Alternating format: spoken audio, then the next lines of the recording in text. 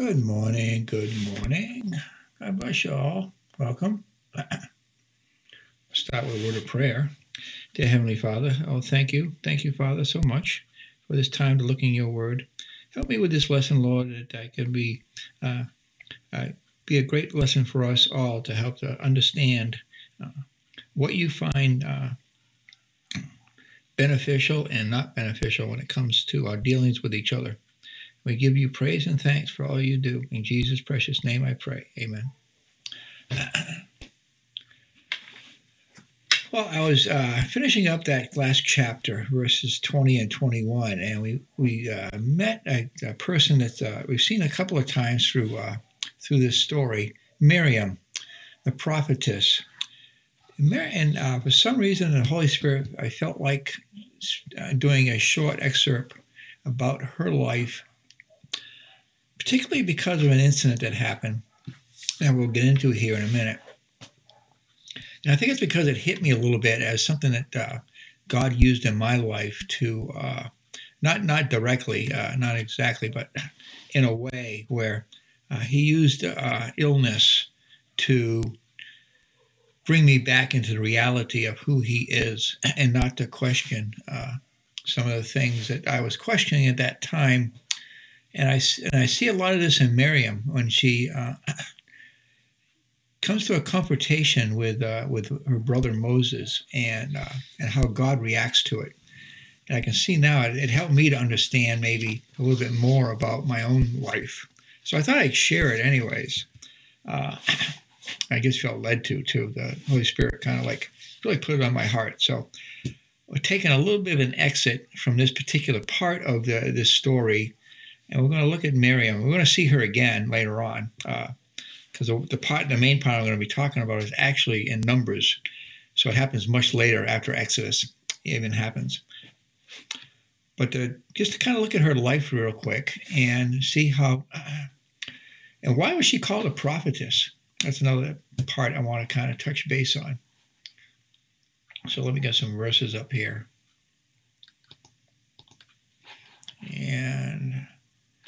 Found this picture too. I got, I kind of uh, took me a minute to figure out what it was saying, but it kind of fits uh, for today a little bit about God and uh, the power that God has and how, how we're supposed to deal with Him.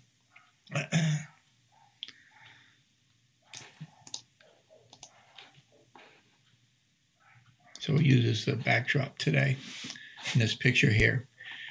You see it lightly written here. It says God right here in the middle of this. And this is the three, the Trinity of God Father, Son, and Holy Spirit. And, I, I, and that's a powerful message since we'll be talking primarily about God today. And of course, his dealings with Miriam, Moses, and Aaron. and in this picture here, we got Moses over here. This is kind of like a maybe a little bit symbology of the life uh, leading up to the tabernacle, which you see over on the side here. This is from a paintings done on the, on, on Moses. And the name of this particular painting is called the Greatest Commandment, which happens to be uh, love the Lord thy God with all thy heart, with all thy soul, with all thy might, and love thy neighbor as thyself. So uh, it might be uh, just felt fitting for this particular episode. So I want to talk about Moses' sister a little bit. Quite a, quite a bit is mentioned about her as a, a women don't really show, show uh, have a pre- predominant role in the Bible.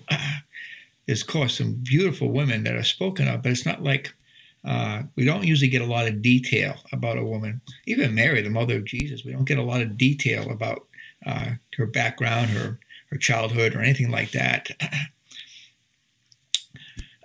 can probably you know, summarize everything we know about Mary in just a few few verses. Uh, we know she had a cousin named Elizabeth, uh, and uh, uh of course she was endowed to be married to Joseph, and she's the mother of our Lord. But other than that, and a few other times in the Bible, she's not spoken of a lot. So whenever you see a detail on a woman in the Bible, it's kind of a, a unique situation where they were the really predominant. I don't believe God God put everything in the Bible for a reason and none of it is fluff. It's uh, it's all there for a reason. We just have to try to figure out what it is.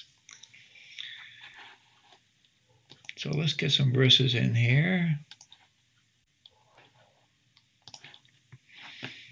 Miriam the prophetess, and I'm just going to read the two verses I'm basing this on first, and then we'll go into more detail about what I'm why I'm uh, I'm doing this lesson. Miriam the prophetess, the sister of Aaron, took a timbrel in her hand, and all the women went out after her with timbrels and with dances. And Miriam answered them, Sing ye to the Lord, for he hath triumphed gloriously. The horse and his rider hath he thrown into the sea. Remember we left off Friday, is that uh, they had come through the Red Sea, and right now they're on the banks uh, on the uh, on the uh, Saudi Arabian side, free from the uh, tyranny of uh, of, of bondage in Egypt. Pharaoh and his army have been destroyed, so they're really in celebration right now. and Miriam is leading the leading the women's choir more or less by the, the singing and the dancing to the Lord. So that's what we see in this particular two verses. This has got me curious about it, is that uh, uh, you can see her leading, and uh, we first again met. Uh,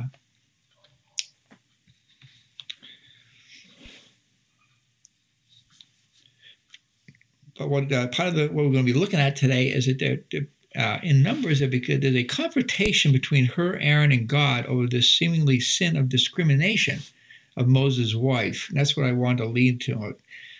Lots of great things are also said of her, so I thought it would be a good lesson on our own self. Sinful flesh sometimes uh, can really hurt our testimony. Uh, she did a lot of great things, and there's one thing God had to kind of teach her a lesson, uh, and that's uh, and that's the part that hit me. that uh, I truly, truly believe that my testimony, uh, and I've been a Christian since I was I accepted the Lord when I was 13. Uh, but I really backslid bad. Uh, I I did a lot of things I'm not proud of through my uh, uh time in the military, mainly uh, leading up to almost uh, about seven years ago. The Lord grabbed me by the by the nape of the neck and gave me a, a period of time. I think this is what hit me because when we get to this story, I'll share a little bit more. But I never correlated the fact that my particular period of time that I was in deep agony over what was happening to me medically was seven days. And so uh, that's I think that's what stuck with me about this. That was I was digging more into Miriam as a person is when I found this passage in Numbers. But let's do the lead up first. I want to I want to I want to kind of show her uh, her good side and then this small negative side and how she recouped from that negative side uh, and was able to come back uh, again into the uh, into the glory of the Lord. So Mary, uh, so Miriam's a prophetess, the son of Aaron. This is the first mention of Miriam by name, and she is described as the sister of Aaron. So she is therefore also the sister of Moses. Uh, we see that in Exodus 4:14. And the anger of the Lord was kindled against Moses, and he said, "Is not Aaron the Levite thy brother?" So you see here Moses ties himself to Aaron as his brother. I know that he can speak well, and also, behold, he cometh forth to meet thee, and when he seeth thee, he will be glad in his heart. This verse here tells us two things. One thing, Moses, I, I get the impression that Moses was not uh, a real forceful person. Uh, he was somebody that really uh, enjoyed uh, controlling people, you know, being a leader by example more than by his words or by uh, uh, some people would call him somewhat meek and mild mannered in his approach to life. And that's part of the reason that uh, he was complaining with God in this particular verse here that he couldn't, he, he didn't think he had the, the ability to be able to set the people free. So that's when Aaron uh, came into the picture, and Aaron became his spokesman. But God was kind of upset. And Moses, at this point, because uh, he uh, he felt that Moses could do it, but he wasn't willing to. So he got Aaron to help. But that at least tells us that Aaron and Moses are brothers. Now jumping over to the Numbers 2659.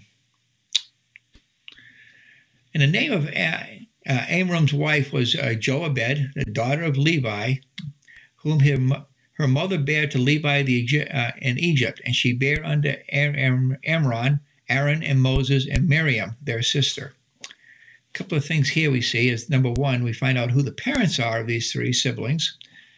Uh, we see we see the birth, uh, and we also find out that uh, through the uh, through this story that Moses is the baby of the family, and Miriam and Aaron are older than them, and we're not sure which one's the oldest. I have a feeling it's Miriam uh, is the oldest, because even Aaron sometimes sounds like uh, in the conversation and numbers we're going to see that Miriam seems to be in control of the conversation more so than Aaron is. This also indicates, as it says here, Miriam, their their sister. Uh, it's uh, singular, and uh, uh the fact that it looks like they only had one sister. So that most likely this person we're talking about here, uh, that we're talking about back when uh, Miriam helped Moses get saved by the Egyptian, the, the oh, the daughter of Pharaoh. We do know that it was his sister who supervised the launching of the basket onto the Nile River to preserve his life. And that's back in Exodus 2, 3 through uh, 9. And we'll read through that right now. And when she could no longer hide him, this is by Moses' mother, she took him for took for him an ark of bulrushes and dabbed it with slime with pitch and put the child therein, and she laid it in the flags by the river brink. Flags is the uh, is that uh, growing? Uh, we used to uh, believe uh, we called it a cat and nine tails. Uh, it kind of grows up uh, near any kind of a water source and has this an interesting top to the top of it. almost a little, looks a little bit like a hot dog sticking on top of a, a stick. and his sister stood afar off to wit uh, what would be done to him. So uh, what we're saying here is this was Miriam. So this is where we first uh, find out about her. And here she is walking down the riverbed, uh, following the basket as it floats down the uh, River Nile. And the daughter of Pharaoh came down to wash herself at the river, and her maidens walk along by the riverside. And when she saw the ark among the, the flags, she sent her maid to fetch it. And when she opened it, she, she saw the child, and behold, the baby wept. And she had compassion on him and said, This is one of the Hebrew children. Then said his sister to Pharaoh's daughter, so here we got Miriam. Miriam is really bold. She's walking up to Pharaoh's daughter as a Hebrew slave. I got, to tell you, she's got some guts. Shall I go and call to thee a nurse of the Hebrew women? So she's going to offer to go get some help to take care of the child. Well, of course, she goes and gets her mother. Continuing here in verse 7 that she may nurse the child for thee. And Pharaoh's daughter said to her, Go. And the maid went and called the child's mother. And Pharaoh's daughter said unto her, Take this child away and nurse it for me, and I will give thee the way, thy wages. She's even getting paid for it. That's that's awesome. That's God at work. And the women took the child and nursed it. So that's the first time we meet Miriam. And now we find out what her name is here uh, in, uh, in chapter 15. So based on Numbers 26, 59, we can say this was probably almost certainly Miriam. She was the older sister of Moses. And quite a bit older because he was a baby and she was definitely, uh, you know, she was old enough to be walking along the riverbank and down and, and talking to the Pharaoh. So she's probably a good oh, 10 or 11 years older than her, than, that, than him. So speaking of Miriam the prophetess, to some other women that, that also hold that honor. So it's not it's not only her. Uh, I thought I'd mention a few others of interest.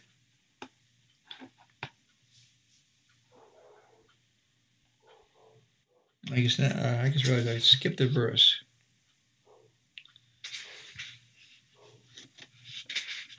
Oh, well, I already read it. 2659. Yeah, I already read it. I was going to reread it, but that's okay. Uh, so in Judges 4 4, uh, this would be Deborah. She was actually a judge. Uh, I bet during that period of time, for a woman to be a judge, uh, probably a little bit like Judge Judy, huh? Uh, probably uh, really stern, good, good on the bench. But Judges 4 4, and Deborah, a prophetess, the wife of uh, she judged Israel at that time. Another one over in 1 Samuel 10:5. After that, thou shalt come to the hill of God. Of course, that's always there in Jerusalem, uh, Mount Zion, where is the garrison of the Philistines. And it shall come to pass, when thou art come hither uh, to the city, that thou shalt meet a company of prophets coming down from the high place, with psaltery and tabret and pipe and harp before them, and they shall prophesy. This is most likely women uh, because of the uh, playing the music. It may not be. It might be a man too. Second Kings 22:14. So Hezekiah the priest and Ahikam and Akshabor and Shaphan and Asahiah went unto Huldah the prophetess. There's another prophetess, the wife of Shallum, the son of uh, Tikvah, the son of Harhas, keeper of the wardrobe. Now she dwelt in Jerusalem in the college, and they communed with her. So again, I'm just pointing out some other other women prophetess. So it wasn't like she was the only one.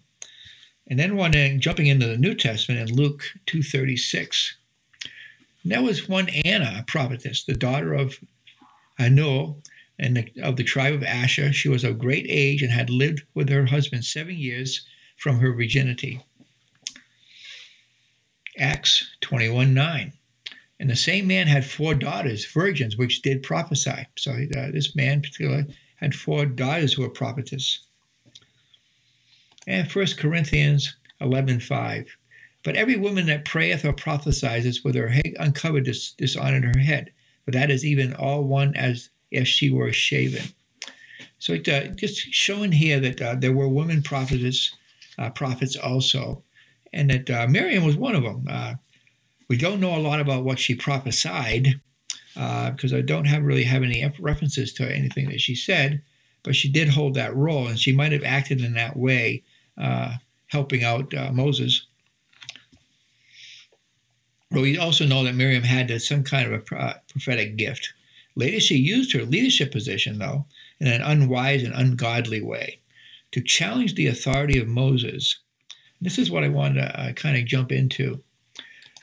It's kind of an interesting because uh, I see a couple of things that uh, point to here. Is one, number one, when God puts somebody in charge, we should honor that for sure. And the other thing is, is the fact that I'm going to point to it as we go by it, but that uh, it seems that God uh, holds uh, discrimination in high regard when it comes to how you treat each, how we treat each other. Because one of the sins that Miriam is going to have, and she's going to make a comment about Moses' wife, and who happens to be a, a certain nationality. And I think that's what the uh, what the basis of God's anger is. So let's read through this and let's let's kind of dissect, dissect it together. So November, uh, Numbers 12, 1 through uh, 16. Miriam and Aaron sp- spoke against Moses, this is both of them, because of the Ethiopian woman who he had married but he had married an Ethiopian woman. Uh, let me back up just a second. This is not most common. Most uh, theologians believe that Moses most likely married a second time. That his first wife Sapphira, who was of the uh, Midians, because uh, her father was a, a Midian priest, uh, would have been would have been uh, from the descendants of Esau. I mean, not Esau, Ishmael uh, which would be Middle Eastern. But when, but the fact that they're pointing out Ethiopian woman here, most likely she was a very dark complexion, and that's what uh, it's interesting that they they really emphasize an Ethiopian woman here. So I think what the basic complaint is is that they're complaining that it's a mixed marriage, more or less. Verse two. And they said, Hath the Lord indeed spoken only by Moses? Hath he not spoken also by us? And the Lord heard it. So here, it sounds like Miriam is saying that that uh, that uh, because of her position, that she feels that uh, she has a, the same authority that Moses has, and that's what she's basically saying here. That uh, that haven't we spoken just like Moses has spoken, and the Lord heard it. So God overheard this conversation, and this is fascinating to me that uh, that He's going to step in, and how He steps in, in person uh, well, in a cloud. So, verse 3 Now the man Moses was very meek above all the men which were upon the face of the earth. This really kicks in with me because I'm, I'm somebody that has a lot of trouble uh, being very forceful with people. Uh, I never, that was one of my uh, weaknesses in the military. I had a lot of trouble uh, really uh, demanding things. I was, so I can, I can feel for Moses in this verse. Verse 4 And the Lord spake suddenly unto Moses, and unto Aaron, and unto Miriam, Come out ye three unto the tabernacle of the congregation. And they three came out. So God is going to have a private conversation with these three. Verse 5. And the Lord came down in a pillar of the cloud and, st- and stood in the door of the tabernacle and called Aaron and Miriam, and they both came forth. Can you imagine have God stand there, coming down and say, Okay, Miriam, Aaron, come here. Need to talk to you. Boy, I would be shaking in my boots. Uh, we're talking about God here. Verse 6. And he said, Hear now my words. If there be a prophet among you, now I think here this is where he's pro- he's talking about uh, Miriam. We found out she's a prophetess. I, the Lord, will make myself known unto him in a vision, and will speak unto him in a dream. So what God is saying here is that he normally the way he normally speaks to a prophetess or to a prophet is through visions and dreams. And now he's going to go on and say, but with Moses, verse 7 here, let me read it first. My servant Moses is not so, who is a faithful in all mine house. So God is going to show us here that he converses with Moses directly, not through dreams and visions, but uh, it says it right here in verse 8. Still God speaking. With him will I speak mouth to mouth, meaning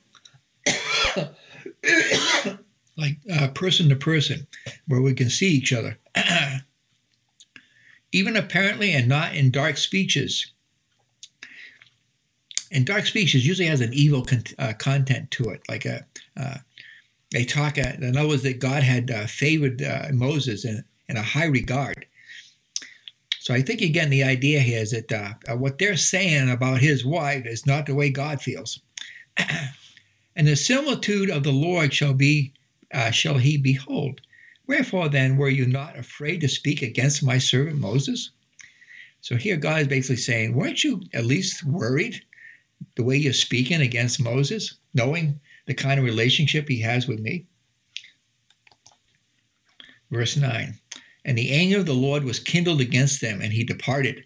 So basically, he basically turned around and left at that point.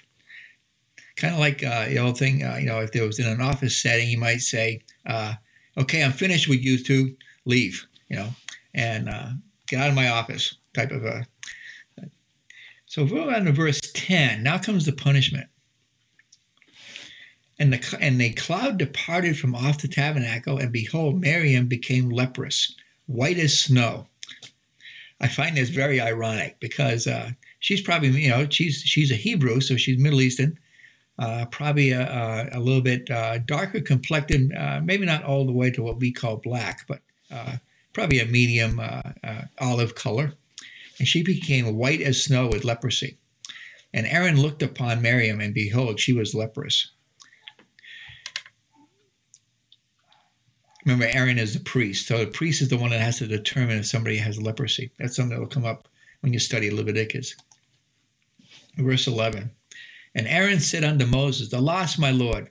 So now Aaron is uh, uh, reaching out to Moses because we know Moses has God's ear. I beseech thee, lay not this sin upon us wherein we have done foolishly and wherein we have sinned. So here's Aaron speaking up for the two of them.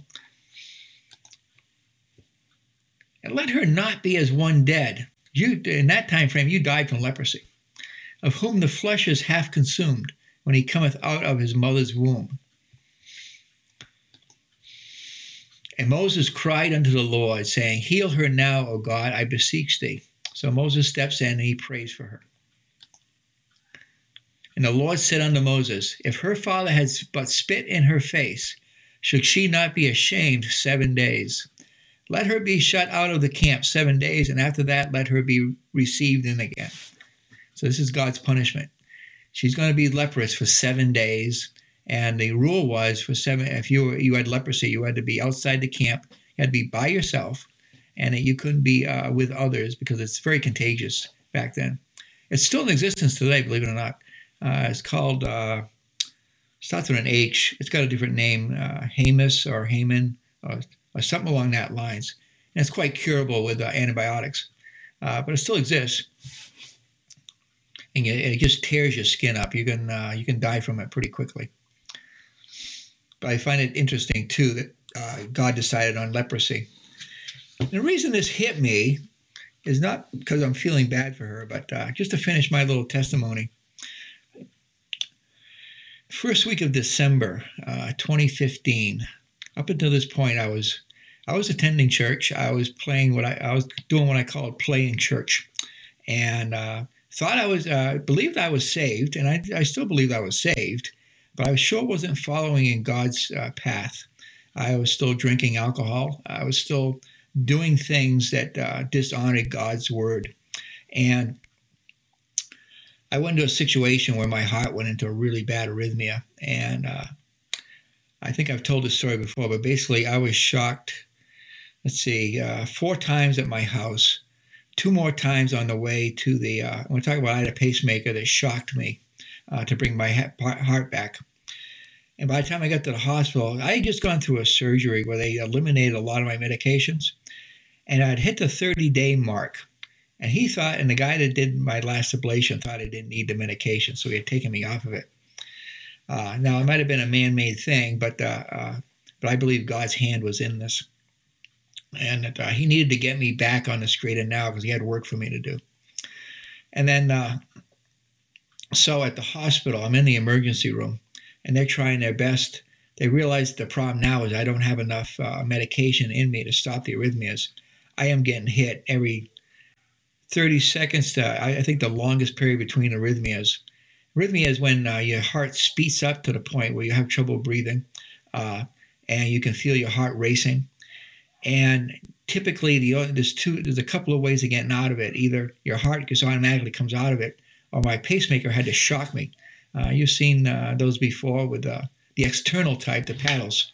Well, I had one built into my pacemaker, so it was shocking me. And I was going through, uh, I don't know, I lost count how many times I got shocked uh, in the first few, uh, probably about, oh, five or six hours of this while I was in the ER. Because they were trying to get me a room in ICU where they could give me a heavier medication to stop the uh, arrhythmias. They were having trouble finding me a room in ICU. And so I was down there suffering through this and wondering when the next shock was going to come and they finally got uh, enough medication in me, got me up into the ICU the where they could give me the right kind of medication, and things calmed down. But I, I tell you, that whole week, the whole seven days uh, before they got my heart fully settled down to where I could probably go home, uh, I was on I was on edge the whole week, and uh, of fact, I got to the point where I just laid motionless in my bed because it seemed like every time I moved, uh, my heart would go into arrhythmia again. So that's my story. But right after that, no more booze. That was out for sure. Uh, I, I felt so grateful that God had gave me a second chance because I actually prayed to God during that time to take me. Uh, it was that much of a traumatic experience. So this story got to me on that, and uh, so I just wanted to share that.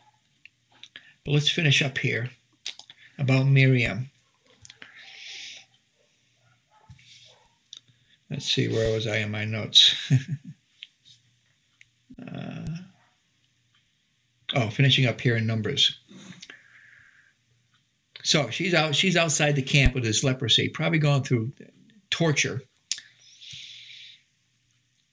And Miriam was shut out of the camp seven days, and the people journeyed not till uh, not till Miriam was brought in again. So they basically stayed there and didn't move uh, move uh, to the next spot for the whole period that Miriam was outside the camp. So they waited for her. And afterward, the people removed from uh, and pitched in the wilderness of Paran. So that episode is over. And just to just to continue a little bit on this, in verse two of that, uh, I guess I just want to look at a couple of things in here. Going back to verse two trying to say that there was also in charge when only Moses was spoken to directly is the sin she had mostly. Uh, I, I, basically spoke to all these while I was telling about it. That God had a special relationship. So I don't need to repeat it. We see one more reference to her as a leader in Micah 6 4. For I brought thee up out of the land of Egypt and redeemed thee out of the house of servants, and I sent before thee Moses, Aaron, and Miriam. So all three of them are, are attributed to the fact that they were the ones that are instrumental in bringing uh, everybody out of uh, the land of Egypt. So we can see her there also as a leader, the leader probably of the women. Uh, we saw her leading in that uh, verse uh, where she uh, was leading the women in song and dance. And she is grouped with a sibling as though she was brought out. Uh, she also assisted greatly in bringing out the children. So again, this was a uh, God had to teach her a little bit of a lesson, and and uh, the old saying is when uh, when God decides to take you to the woodshed, uh, learn that lesson uh, well so that He doesn't have to repeat it, as the saying there. So all the women went out after her with timbrels and with dances. On this occasion, Miriam led the women's choir. Uh,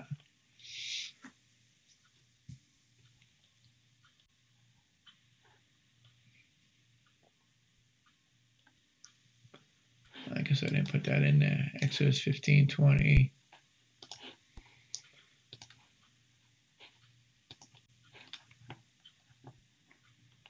I meant to read that before I. And Miriam the prophetess, the sister of Aaron, took a timbrel in her hand, and all the women went out after her with timbrels and with dances. I like this verse that uh, would seem singing and dance is considered worship and celebration. I'd be interested to see what kind of uh, uh, things we do uh, in worship when we get to heaven, because uh, I have a feeling it might be slightly different than we used to here on earth. I guess I mentioned it says a timbrel. A timbrel is what you think it is. Uh, it's tof in Hebrew, and in Arabic it's called a duff or a diff, and in Spanish it's called an aduff. Uh, is the tabret used in the East, being a thin, broad wooden hoop with parchment extended over one side of it, to which small pieces of brass, tin, etc., are attached, which make a jingling noise. It is held up with one hand and beaten upon the other, and is precisely the same as a tambourine. tambourine. Uh, and speaking about all the women, over in Judges 11:34, and Jephthah came to Mizpah unto his house, and behold, his daughters came out to meet him with timbrels and with dances. And she was his only child. Beside, beside her, he had neither son nor daughter. Just showing some other examples, but uh, this song and dance by the ladies is, uh, is quite common in the Old Testament. 1 Samuel 18:6, and it came to pass as they came, when David was returning from the slaughter of the Philistines, see another celebration, they won over the Philistines and David here is joining in, in it. That the women came out of all the cities of Israel singing and dancing to meet King Saul. I'm sorry, not David yet. With tambourines, with joy, and with instruments of music. So we see that was uh, after a, a, big defeat uh, with the uh, uh with the the Philistines. Also in 2 Samuel 6, and this is the David one, starting in verse 5. And David and all the house of Israel played before the Lord on a manner of instruments made of fir wood, even on harps and on psalteries and on timbrels and on cornets and on cymbals. And jumping over to verse 14. And David danced before the Lord with all his might, and David was girded with a linen ephod. Psalm 68:25. The singers went out, the players on instruments followed after. Among them were the damsels playing with timbrels. And Psalms 81, 1 and 2. And to the chief musician upon Gittith, a psalm of Asaph. Sing aloud unto God our, our strength. Make a joyful noise unto the God of Jacob. Take a psalm and, a, and bring hither the timbrel, the pleasant harp with the psaltery quite lively dance. I think it was like uh, almost like line dancing, uh, uh where you're just celebrating, you're, you're, just, you're raising your hands up and enjoying yourself. Uh, probably a little bit like a uh, good old fashioned uh, Southern Baptist type revival. Psalm 149, verse 3. Let them praise his name and dance. Let them sing praises unto him with the timbrel and the harp. And okay, moving on to verse 21 of Exodus. And Miriam answered them, Sing ye to the Lord, for he hath triumphed gloriously. The horse and his rider hath he thrown into the sea. So we got some references for this too. Sing ye to the Lord. Second Chronicles 5.13. It came to even to pass as the trumpeters and the singers were as one, to make one sound to be heard, in praising and thanking the Lord.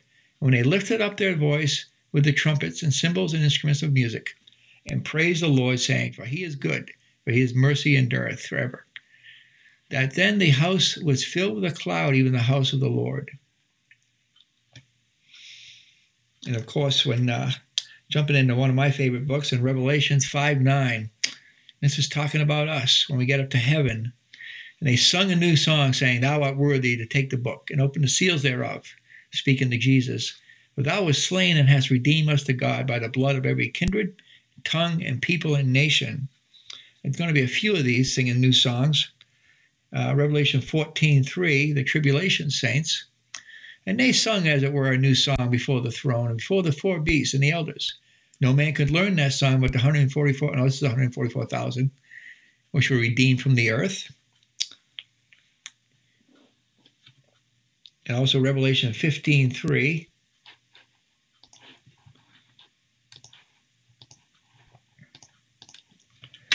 They sung the song of Moses. Okay, that's what we just talked about uh, yesterday, uh, Friday.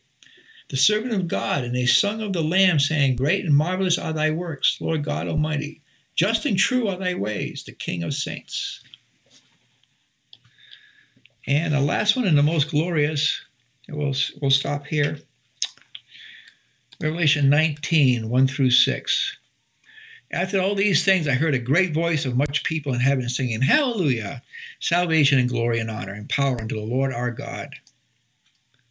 For true and righteous are his judgments, for he hath judged the whole great whore which did corrupt the earth with her fornication her, and hath avenged the blood of her servants of her hand. And again they said, Alleluia, and her smoke rose up for ever and ever. And the four and twenty elders and the four beasts fell down, worshiping God that sat on the throne, saying, Amen, Alleluia. And a voice came out of the throne saying, Praise our God, all ye his servants, and ye that fear him, both small and great. And I heard as it were the voice of a great multitude, and as the voice of many waters, and the voice of many thunderings, saying, Alleluia, for the Lord God omnipotent reigneth. So I'm going to stop there for today, and uh, we will move into the next stop on the uh, on this treasure hunt, going uh, do- towards Mount, uh, Mount uh, Sinai. And uh, I hope you enjoyed that little lesson about how God sometimes will use our own ailments at times to even try to wake us up. I felt really led to, to share that. So I, I hope it wasn't too much of my own story, but uh, I hope that uh, maybe my testimony might help somebody else. I don't know. The Holy Spirit seemed to lead me to do this today. So have a great day and let's pray. Thank you, Lord. Thank you so much, Lord, for the for the blessings you've bestowed on me, and thank you, Lord, for those times you need to uh, uh, correct us and help us to see the way you see uh, and to and to be ready, willing, and able to understand that sometimes you have to use a, a heavy hand to get our attention. That we may learn from those experiences and be able to uh, continue on and realize that you're doing it because you love us and you care about us. And we thank you and praise you so much. In Jesus' precious name I pray. Amen. Okay, you guys have a great day, and I will talk to you again tomorrow.